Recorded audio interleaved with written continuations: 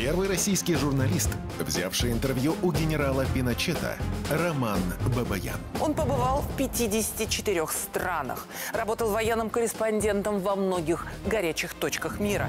Как ему помогла определиться с профессией афганская борзая? У этой афганской борзой, значит, была хозяйка. Так. Ален- Алену ее звали. И чем он был недоволен, когда получил заветную премию ТЭФИ?